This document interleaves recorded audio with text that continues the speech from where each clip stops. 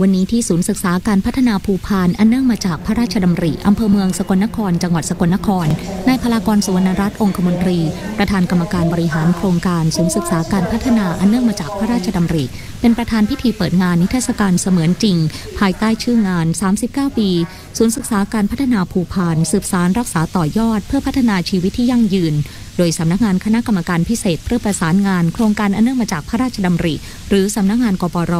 ร่วมกับศูนย์ศึกษาการพัฒนาภูพานและหน่วยงานต่างๆ จัดขึ้นระหว่างวันที่ 25-26 พฤศจิกายน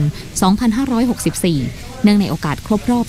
39 ปี ของศูนย์ศึกษาการพัฒนาภูพาน อันเนื่องมาจากพระราชดำริ และเพื่อน้อมรำลึกในพระมหากรุณาธิคุณ พระบาทสมเด็จพระบรมชนากาธิเบศร มหาภูมิพลอดุลยเดชมหาราช บรมนาถบพิตร ที่ทรงจัดตั้งศูนย์แห่งนี้เป็นสถานที่ศึกษา ค้นคว้าวิจัย ค้นหารูปแบบการพัฒนาที่เหมาะสม สอดคล้องกับสภาพภูมิสังคม ในลักษณะพิพิธภัณฑ์ธรรมชาติที่มีชีวิต ด้วยบริการแบบเป็นเสร็จณจุดเดียว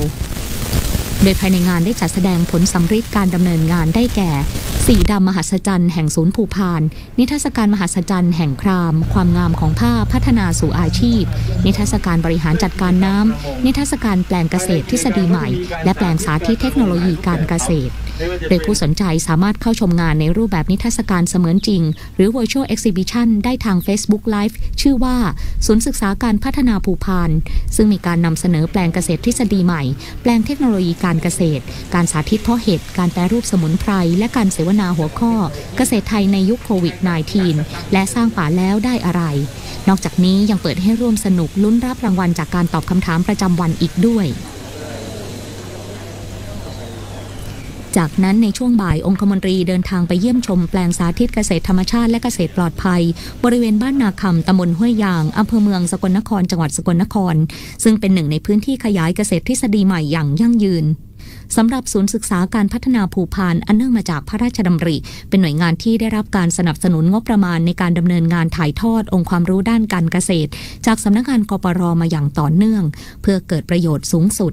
ปัจจุบันศูนย์ศึกษาการพัฒนาภูพานอันเนื่องมาจากพระราชดำริ ได้สนองพระราชปณิธานของพระบาทสมเด็จพระเจ้าอยู่หัว ในการสืบสารรักษาต่อยอด ส่งเสริมอาชีพให้แก่ประชาชน มีความเป็นอยู่ที่ดีขึ้น และฟื้นฟูทรัพยากรธรรมชาติ ด้วยการถ่ายทอดองค์ความรู้ใให้สอดคล้องต่อเนื่องจากกิจกรรมสาธิต ในรูปแบบของการให้คำปรึกษา การจัดฝึกอบรม และการขยายผล